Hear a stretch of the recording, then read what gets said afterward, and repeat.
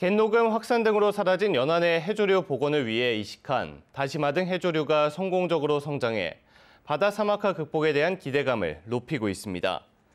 신안군의 최근 조사 결과 지난 3월 이식한 다시마는 현재 1m 이상 성장했고 10월까지 포자발화가 이루어지면 사후 영양조사가 이루어질 예정입니다.